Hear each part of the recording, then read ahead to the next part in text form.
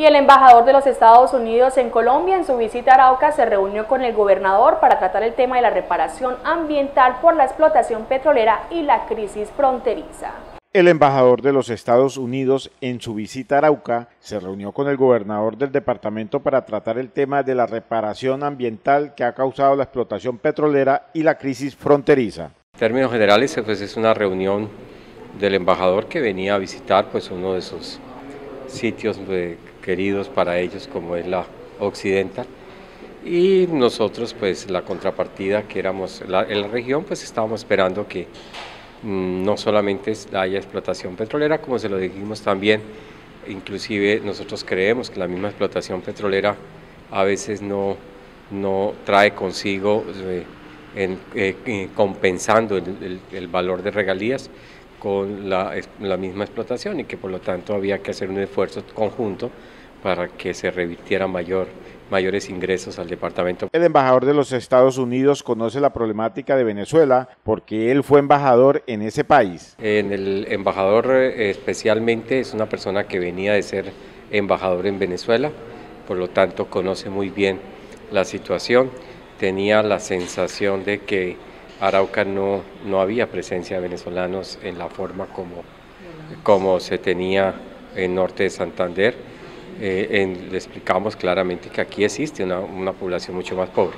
Y en el caso de Occidental, abiertos, yo desde hace un año y medio se lo planteó desde la participación en, eh, económica en recuperación de áreas específicas y especialmente en un tema que no se ha hecho, que es la audiencia ambiental. Aún en el departamento de Arauca se harán algunas explotaciones petroleras más, pero la occidental de Colombia, OTSI, tendrá que aportarle más a esta región. Nosotros eh, sabemos ya, pues no por eh, hoy, sino por días previos que se me contó por parte de la Nación sobre una serie de concesiones que se tienen y algunos puntos específicos.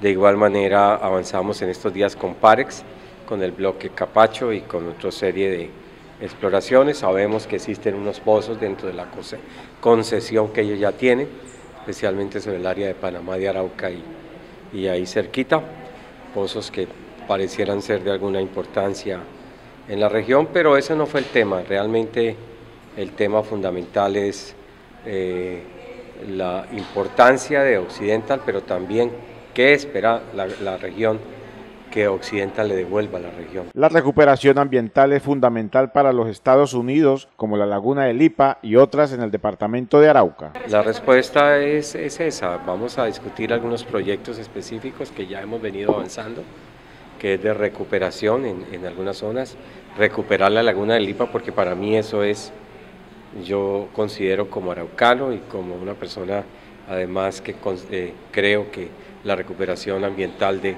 de esa laguna es fundamental, que se debe destaponar el Caranal, el Managua y el Caranalito, que son los afluentes principales que van a permitir recuperar ese, ese ecosistema y puntualmente sobre eso. Y lo otro que hablamos es cómo eh, Occidental nos ayuda a mitigar las dificultades de una región que está golpeada económicamente por todas las, las, dificultades que ustedes ya conocen. La Occidental de Colombia, OTSI, tiene que ayudar a mitigar la crisis económica que tiene el departamento de Arauca.